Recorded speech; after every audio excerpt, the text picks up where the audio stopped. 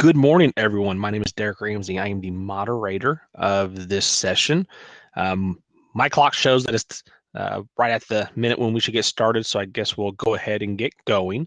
Um, so today's uh, session is welcome to OAE, when and where we want to want to be. Um, the presenter is uh, Miguel.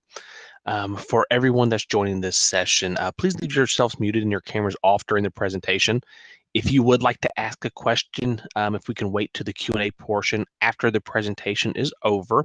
Uh, you can also use, there's a shared notes that you can see over to the left, which is just above the user list. Uh, you can enter in any questions there as well. Uh, you're going to also notice that there is another place that you can type in uh, in the chat area. Um, feel free to go ahead and type in any questions there in the chat. I'm sorry, not questions, just just chat. Don't use questions in that chat area. Um, if you have any technical issues, uh, please send them to me. Uh, my name is Derek on the left hand menu. And uh, send me a direct message, and I'll assist in any way that we can. Um, this session and all sessions uh, here at the Apereo conference are recorded, and they will be available at a later date on the Apereo YouTube channel. So, Miguel, feel free to get started. All right. Thank you, Derek. Uh, can you hear me all right? Yes, sounds good. Okay, so I'll just need uh, find a way to share my screen. Uh, not sure exactly how to do that. Oh. Hmm. There's, I think there is a uh, uh, there's an option at the bottom uh, next to the uh, microphone, the phone, the share webcam, and I think that the fourth option at the bottom is to share your screen except that I don't have a fourth option. Option. Well, I used to. I I saw it once, uh, like in the uh, in some other uh, in the practice room, but I don't think I can find it now. Let me do this to you. Let's see if this gives it to you. Check now. Ah, perfect. Sweet. Thanks. Yeah. Okay, so let me just do that and hopefully you'll be able to see what I see. yes, I see the yep, I see the launch screen, open academic environment. All right. So okay. So let's start. Um, okay, so I'm Miguel. Um, I am the project lead for for the Open Academic Environment, OAE for short. And I want to welcome you all to this presentation. Um, this these are the topics that we'll cover in this uh, in this session. I'll uh, quickly go through what OAE is, what's new with OAE, then I'll uh, start my technical dive uh, regarding where we are and where we want to be regarding the front end, back end. Uh, I'll talk about the project momentum. Uh, then I'll show you the new interface that we've been building for OAE in the last few months. Uh, then I'll describe what the goals are going forward. And finally, uh, standard stuff like how to contribute to OE. And finally, I'll try to make this quick so that there's time for questions at the end. Okay, so for those of you who don't know what OE is, this is a short overview. Um, in essence, OE is a collaborative platform for academia. It is a platform that provides features and mechanisms for people to collaborate and work together. Um, it has some unique features though, uh, one of them being the fact that it's multi-tenancy, uh, which means that a single instance can provide different domains for different departments or institutions. Um, it provides collaborative editing for uh, documents and uh, spreadsheets. Uh, it integrates with Jitsi for virtual meetings in groups uh, like this one we're having. it is multilingual and it is mobile ready as well. So there's a lot of unique features. These are some one of the most important ones, but there are plenty others uh, that I won't be able to cover in this session. The project goals are uh, mainly these three uh, to enhance academic collaboration. So uh, work on more features and more mechanisms and make uh, uh, collaboration more seamless and productive. Uh, we also need to, and we want to, become a friendly integration platform, mainly because we know that nowadays uh, there's no uh, one platform to rule it all. Uh, most of the open source projects uh, from Apereo and others what we can aim at is to become part of some ecosystem. And because of that, we um, OAE has a built-in API. Um, so the goal is to be adopted, but also, you know, uh, being aware that that adoption is a part of something bigger. And finally, uh, to foster an active community because, you know, at the end of the day, we're still an open source project. Uh, and, you know, the best way going forward is to have lots of people collaborating and working together for the same cause. Okay, so let me go through um, briefly um, the project status. Uh, the project has been active since 2009, so it's a long-standing project. Um, it is uh, deployed in France uh, through the ESUP-Portail uh, initiative. Uh, Ian said in the previous meeting, uh, it covers around 80% of French public university system. Um, and I'll show you some stats on this deployment in a few slides. And unfortunately, we have a very small community as it stands, but this is something that we're constantly trying to um, to, to change and for the better. All right, so what's new uh, with OE? Uh, I'll go through I'll go through some of the features, most important changes since last year. And the biggest one is that the Elasticsearch is finally up to date. Uh, Elasticsearch is a component responsible for search, obviously, um, and it has been uh, stale uh, um, uh, since 2017, I think, uh, in version 1, and we have recently upgraded it to version 7.9, which is huge. Uh, because that's that means it's seven major versions and um, it is you know a huge refactor so that you know the project keeps um, is, is up to date and uses uh, up to date uh, third party systems as well. We have updated some libraries. Uh, OAE is built on JavaScript, and as you might know, JavaScript is very volatile, not just the ecosystem, but the language and the standards and best practices as well. So this uh, usually takes a lot of time and uh, involves a lot of different moving parts um, that OAE is built on. And finally, we have developed um, a single container uh, that works as a demo, right? So uh, OAE has been working with uh, Docker um, for you know for a long time, but we've also we've always had this problem that uh, some orchestration was needed, uh, especially for development.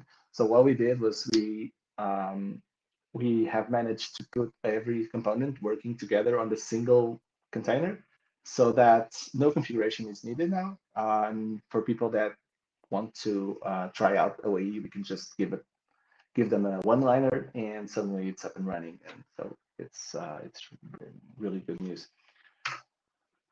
So here's some stats on the ESUP-Portail uh, deployment. Uh, 21 tenants, uh, more than 8,000 groups, 43,000 users, 126,000 documents, and more than one terabyte used. So it's pretty pretty large deployment, and um, it's that is the reference deployment that we have. It's the one that we maintain, uh, me along with Fred from ESUP-Portail, uh, and the one that we try to uh, regularly updates uh, or at least you know uh, keep more or less updated um, to the master branch. All right, so let's dive into the backends. Um, and I'm sorry if this is going to sound a bit technical, but I'll try not to, well, I'll try my best uh, to um, not not to be uh, not to um, be too technical. So um, regarding OAE backend, he had so he has uh, five different components, and the main one is the Node application. So Node.js is you know basically a JavaScript application. And as it stands, um, it is still callback based uh, JavaScript. It is ES5 uh, JavaScript, and it has some obsolete uh, dependencies, such as request.js. What this means, without the technical jargon, is that it's still built on a previous generation JavaScript um, standard, basically. Uh, so callbacks should be promises nowadays, Uh, ES5 should be at least ES6. So what this means is that there's still there's still a lot of work to be done on making uh, this node application more up to date, more modern, and uh, also attractive to other people um, looking to contribute to open source. There's Elasticsearch, the search component, which is finally up to date. There's Redis, which is the cache and message queue component, which is also up to date. And Cassandra, which is not up to date because it's still running on version 2.0 from 2015. Fortunately, that is not a problem uh, because we will replace Cassandra's very soon. Cassandra is not non-relational database that was picked uh, when you know when the project started, uh, but we don't think it's the right fit anymore. So uh, we'll be replacing it soon, or at least start to replace it soon. And finally, Nginx, it's the that's the web server which is also up to date. So you know, all in all, uh, where we are is that you know OAE backend is stable and mature. But there is also there's always a but, right?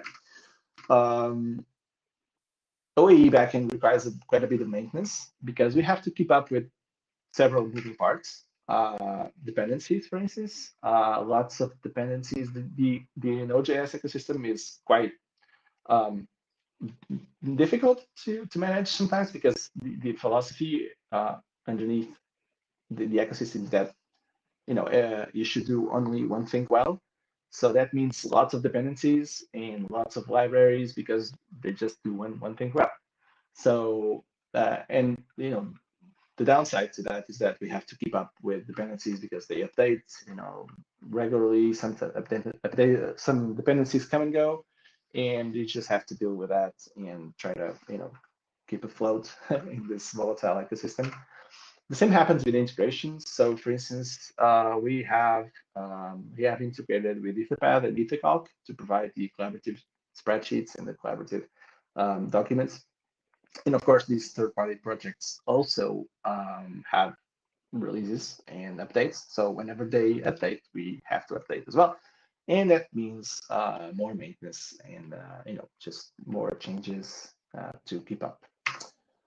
JavaScript uh, as a whole, uh, as a language, it also changes quite regularly. Has uh, um, you know whenever something new comes along, uh, and it's often not easy to um, just change the whole code base or uh, to change uh, some pattern or you know lots of problems come up when you try to keep up with JavaScript in general. And of course, security updates from the perspective of the, the deployment. We also have to um, keep that um, keep aware that uh, be aware that the security security is a, a main concern. Um, it's still hard to work on OAE. Uh, part of that is because OAE uses Cassandra, and when people work in um, on Cassandra, the whole philosophy of data modeling is quite different from uh, what most people know, which is relational databases, MySQL and uh, Postgres.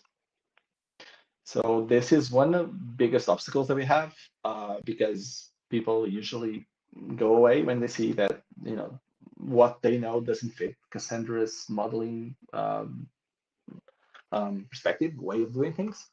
So this is one of the things that um, keeps people away from uh, contributing uh, something else uh, which makes things a bit uh, you know more difficult than they should be is the fact that we have to have to uh, use Docker containers. And the problem is uh, Docker um, doesn't have a like a unique um, universal behavior in different operating systems. For for instance, you can have um, native Dockers in Linux, but in macOS it's like a, a hack so it requires a bit of configuration. And you know, whenever there's extra configuration, there's extra trouble and it drives people away basically. All right, so where do we want to be? Like I said, OAE needs a relational database and we'll start working on this uh, hopefully uh, September onwards, uh, if everything goes well. OAE also needs to migrate to next generation JavaScript, which is uh, ES modules. Uh, it has been done uh, up to uh, you know up to a point, uh, but there's still major changes to be done. Uh, and you know this is just JavaScript evolving, and the project has been active since 2009. So it, as you might understand, the, a lot of things change, and um, a lot of code needs to be refactored so that we keep up. Uh, if we still, uh, as an open source project, if we don't keep up with uh, you know this kind of generation standards and best practices, it's going to be more difficult to attract other people to contribute, and uh, overall the quality of the project will just go downwards. And we also need to reduce the number of uh, third-party dependencies. Obviously, there will there'll always be a reality uh, because that's just how things are in JavaScript. But we used to have like a huge number, um, and then they go obsolete, and then they go and maintain, and because of that, the project suffers uh, quite deeply. So um, this is one of the goals that we have, and we've been trying to uh, work on this for the last years, actually. Uh, here's a snapshot of the README of, uh, from GitHub. Uh, I just I'm just putting this here so you can check uh, some of the things that I said. Like the dependencies is up to date, and the developer dependencies are up to date uh, on yellow on the right hand side. But you can also see like a C mark in maintainability, that means that we still have a lot of work uh, ahead of us. And also security vulnerabilities, 33, which is a bit high, but some of them are low risk, or mo most of them are low risk. Um, and it, this just goes to show that uh, there's still a lot of a lot to be done regarding the, the backend. All right, so let's move on to the front end. Um, and not much to say about the front end, except that it is stable and mature, pretty much like the backends. But the front end stack is quite obsolete. Uh, so the the code base makes use of um, previous generation technologies, let's call it that. Um, oh, sorry. And that includes jQuery, Require.js, uh, ES5 modules, and JavaScript. And you know, all in all, not being able to use npm uh, dependencies, which is like, you know, so such a basic feature nowadays. And basically, what we have is a stack that does provide agility. So if you want to make a change, or if you want to change something like um, moving, um, move the code base one step uh, further in, in some regard, everything's going to be difficult because these technologies are like tightly um, coupled. So it's quite a it's it's a bit of a nightmare to to um, to do something uh, on this stack. And on top of that, uh, the OA visual design is something that I find a bit outdated. I don't think it aged that well. Um, it's also missing out on a lot of best practices regarding um, user experience, uh, design standards, consistency, mobile responsiveness, and accessibility. So what does this mean? Um, where do we want to be? So we need, sorry, we need to rely on a more modern standards compliant framework.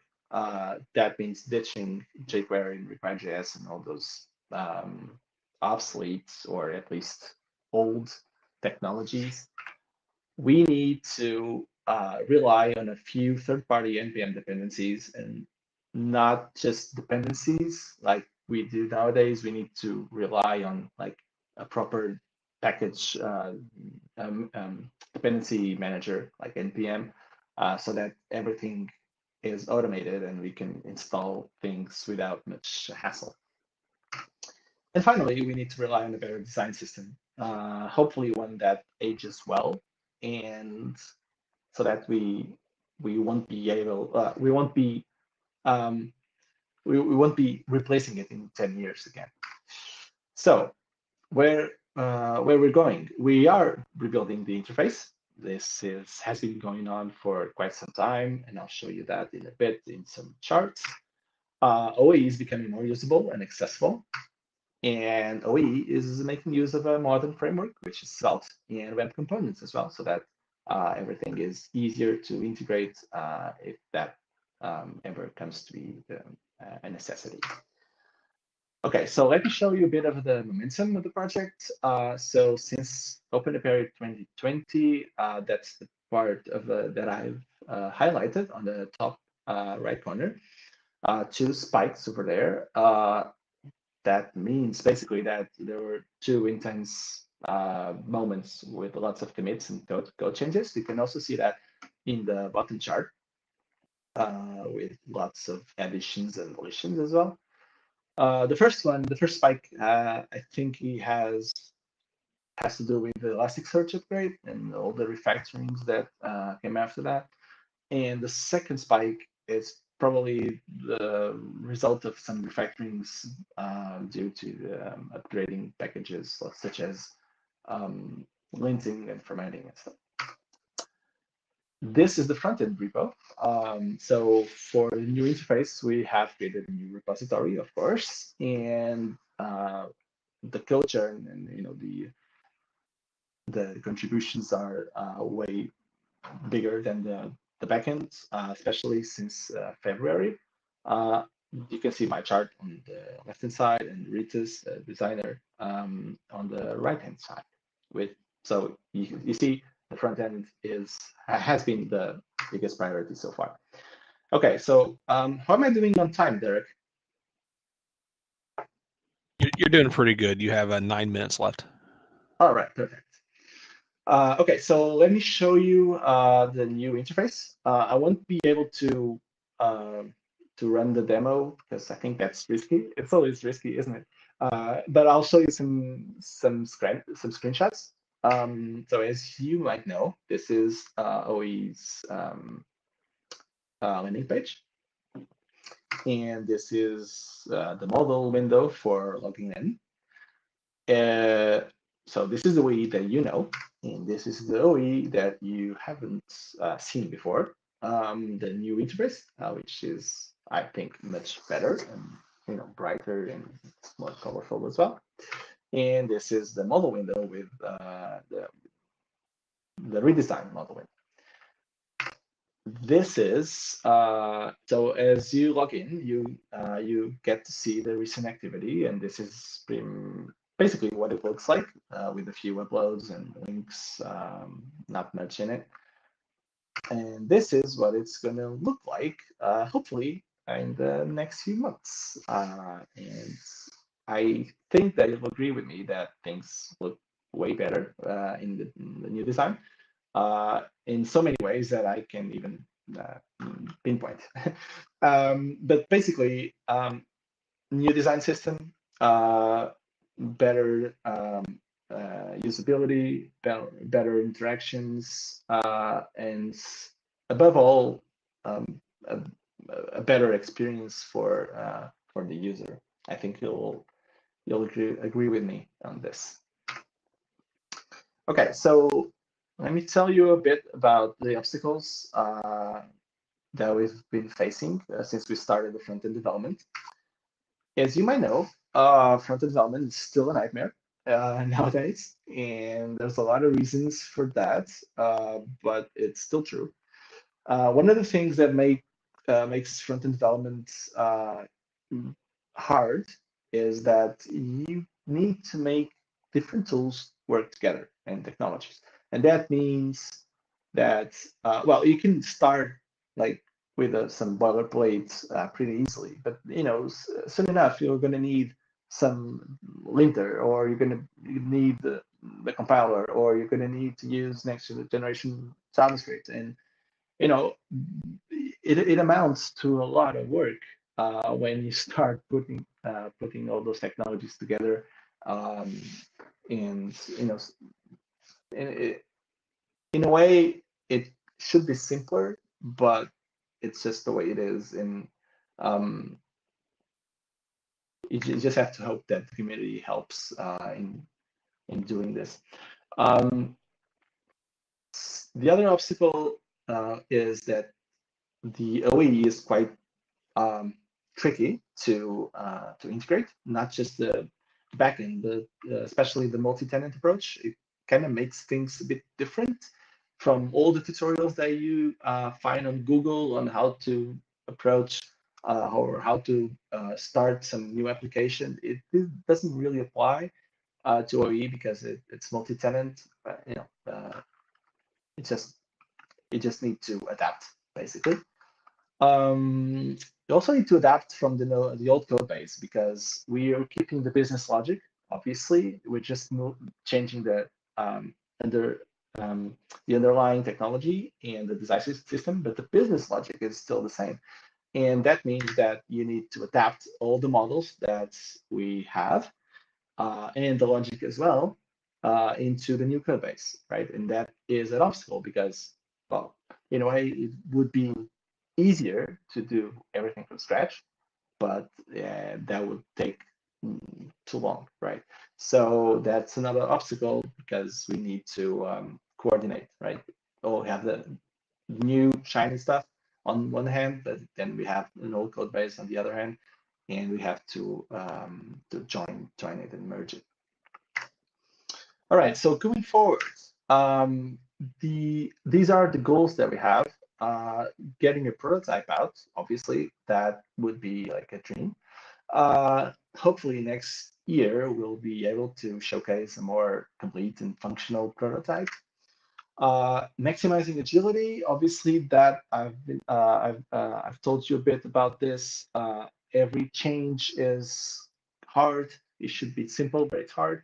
Uh, and that has to do with the technical debt, has to do with the technological stack. Uh, so there's a lot of a lot, of things that we need to do, and they all contribute to this simple idea that contributing should be easy, changing should be easy, uh, you need to be agile. Uh, you need to go and you know take small steps uh, at a time instead of you know um, approaching it as a, like a waterfall uh, project. Um, and obviously that would make OE more newcomer friendly. Um, a lot of contributors uh, just you know they they are pushed away by by all this, and uh, that that makes it a, a priority for us as well. And finally, help uh, potential parties uh, demoing and deploying OAE. Uh, so from time to time, we get contacts. Um, we get contacts from people uh, trying to understand what OAE is, what it looks like, what it, what feature does it uh, have, and it's it's always been a bit of a nightmare. But since we have now the um, the the Docker container, I think things will uh, will be much more simple um, uh, much simpler in the future, and uh, you know, hopefully uh, there will be no no problem in uh, people trying OE by themselves in the future. All right, so finally, uh, how to contribute to OE, uh, provide ideas and feedback. this is actually one of the best things you can do for OE because we we work on OE like 24/7, and sometimes we are too immersed in our in our own ideas in uh, you know our our our uh, roadmap. So having people tell us about what they think OE uh, should be or should have uh, is actually um, a great uh, great way for us to, to think outside the box, right? Uh, and ask questions because again, by trying to answer those questions, we are um, we're led to think differently uh, contribute to GitHub. Uh, that's not just Go, that's also docs. The because documentation usually uh, is all, well, it shouldn't be, but sometimes it's uh, like a second thought, and we just forget to update it. Uh, so it's a great way for um, for the project to um, to be up to date as well. And feel free to keep in touch. There's the homepage and the project blog and Discord uh, channel links. Um, we we are on this Discord channel pretty much every day. So any question that you may that you may that you may have, um, just feel free to to do so. And this is what I have for you today. Uh, so thank you, and please ask away. Yep. Thank you. If you have any questions, uh, feel free now to type them in the chat in the share notes section. Raise your hand. Uh, we have just a minute. Uh, the next session starts in five minutes. Ooh.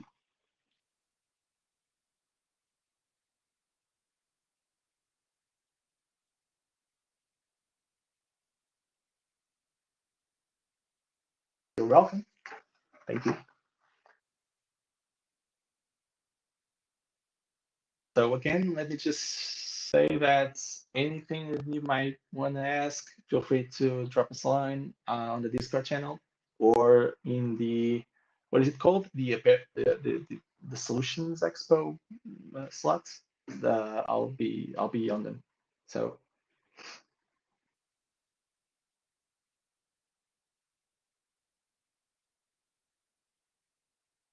Okay. I think we're good, everybody. The next session start in five minutes. So I'll go ahead and stop the recording. Thank you, Miguel. Bye bye. Thanks.